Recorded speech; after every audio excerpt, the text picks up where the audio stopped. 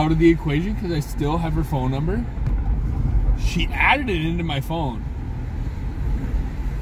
So I'm gonna text her and be like, we, me and Text you, her a what the fuck? me and you should go for a drink, just the two of us. I just split this. With me? Send to me. I swear to God, I thought I was locked in though. I'm like,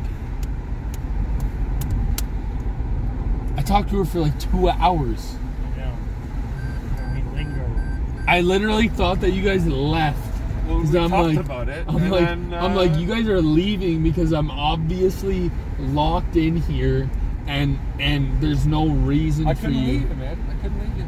I could. I was Yeah. like, Drew, let's fucking go. You know, I, I wanted one more beer.